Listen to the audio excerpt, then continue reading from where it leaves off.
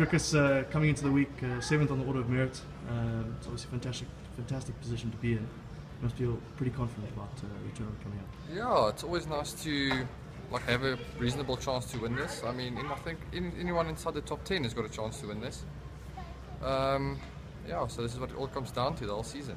Uh, for you specifically, Tshwane Open, you've had a pretty big result here before. Uh, you must feel like this course is the place. Yeah, I've always played nicely. I think the course tends to suit ball strikers. Um, you've got it a little bit longer. You've got it good long irons here, so yeah, the course suits me nicely. How's your game feeling at the moment? Been struggling a bit the last two weeks. Been working really hard with my coach. Um, so yeah, I've been striking it good on the range the last week, so I should be good this week. Mm, And what does it mean to have a 54 hole event going into uh, summer?